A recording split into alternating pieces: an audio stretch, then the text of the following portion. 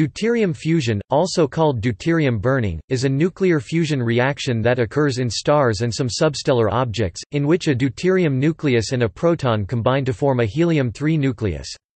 It occurs as the second stage of the proton-proton chain reaction, in which a deuterium nucleus formed from two protons fuses with another proton, but can also proceed from primordial deuterium. In protostars Deuterium is the most easily fused nucleus available to accreting protostars, and such fusion in the center of protostars can proceed when temperatures exceed 106 K. The reaction rate is so sensitive to temperature that the temperature does not rise very much above this. The energy generated by fusion drives convection, which carries the heat generated to the surface. If there was no deuterium fusion, there would be no stars with masses more than about two or three times the mass of the Sun in the pre-main sequence phase as the more intense hydrogen fusion would occur and prevent the object from accreting matter. Deuterium fusion allows further accretion of mass by acting as a thermostat that temporarily stops the central temperature from rising above about 1 million degrees, a temperature not hot enough for hydrogen fusion, but allowing time for the accumulation of more mass.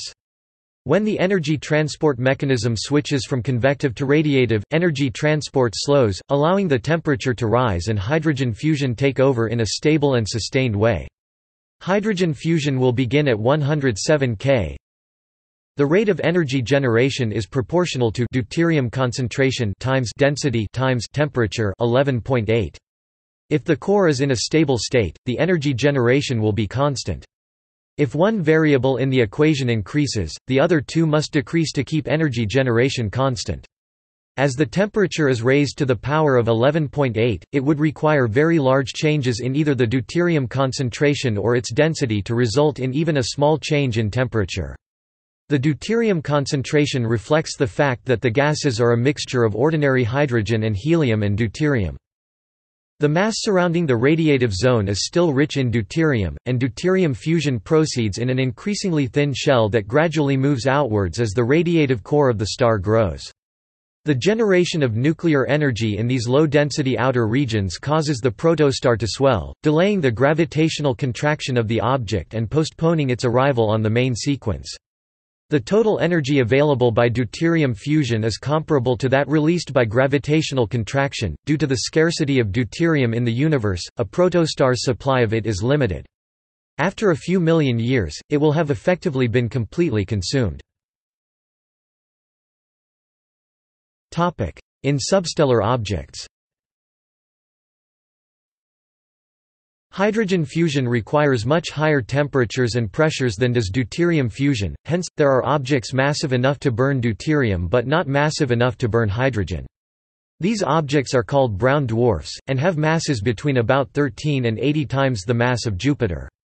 Brown dwarfs may shine for a hundred million years before their deuterium supply is burned out. Objects above the deuterium fusion minimum mass, deuterium burning minimum mass (dBmm) will fuse all their deuterium in a very short time, 4 to 50 MYR, whereas objects below that will burn little and hence preserve their original deuterium abundance.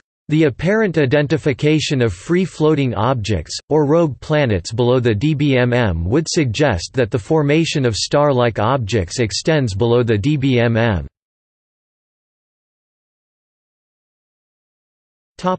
In planets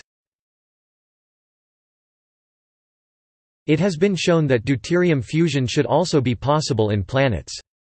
The mass threshold for the onset of deuterium fusion atop the solid cores is also at roughly 13 Jupiter masses. Other reactions Though fusion with a proton is the dominant method of consuming deuterium, other reactions are possible. These include fusion with another deuterium nucleus to form helium-3, tritium, or more rarely helium-4, or with helium to form various isotopes of lithium. References